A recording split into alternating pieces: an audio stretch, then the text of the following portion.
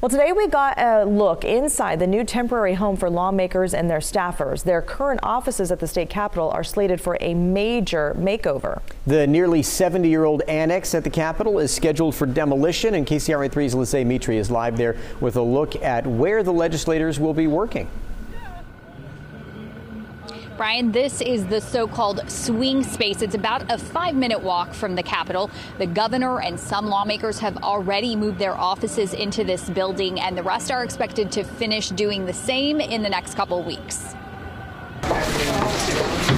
Boxes are packed and stacked, ready for the move. This is a huge project involving the movement of the entire legislature and the governor away from this site to a new location. Assemblyman Ken Cooley is chair of the Joint Rules Committee. It is monumental to figure out how do you keep the legislature functioning as an institution while you tackle deficiencies in this building that were long ago identified by Schwarzenegger deficiencies in the nearly 70 year old annex at the California State Capitol, like asbestos, old electric and plumbing systems, and limited access for people in wheelchairs in the cramped corridors.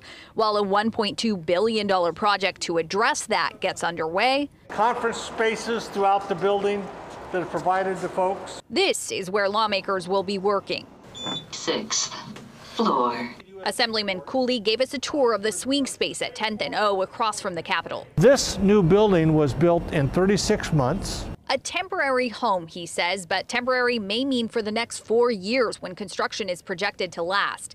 It's got more open spaces, conference rooms, and offices equipped with modern technology, and it's energy efficient, he says. This 10 story office building has eight floors for the legislature, has temporary hearing rooms that will serve us for ones that we lose in the annex. Other public hearings and Senate and Assembly floor sessions will still happen at the Capitol, so lawmakers and staffers will have to go back and forth. That does affect probably what people will get done in their day, and that's kind of a bummer. But, you know, it's like, well, you can't get there from here. You, you have to clear out the building. You cannot tackle asbestos in that building if people are in it.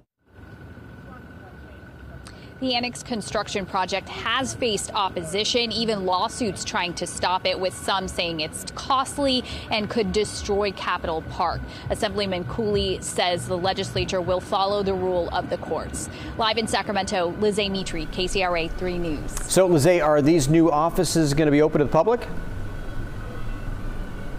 They will be, if you can see, it is still fenced off right now, uh, so not quite yet. But next month, uh, January 3rd, is when the doors are expected to be open to the public. All right, Lizzie Mitri reporting live for us. Thank you so much.